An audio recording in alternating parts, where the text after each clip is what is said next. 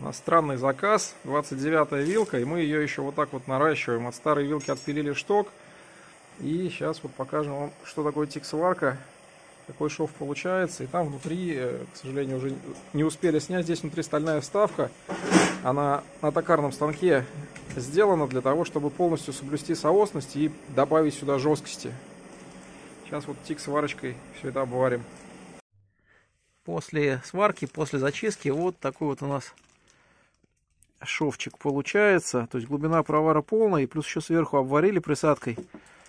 И все это потом зачистили. И как бы ничего наружу не выступает.